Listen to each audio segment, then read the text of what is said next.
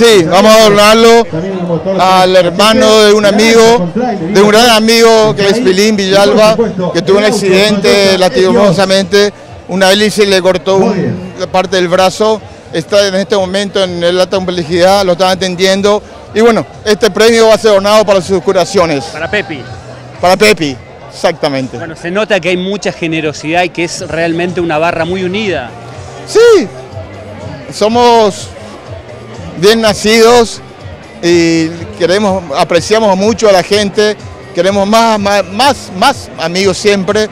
Y bueno, es algo, es un aprecio que tenemos por ellos y que cada vez se junten más y vamos a hacer más por todo y algún día estamos saliendo de Formosa a convertir internacionalmente.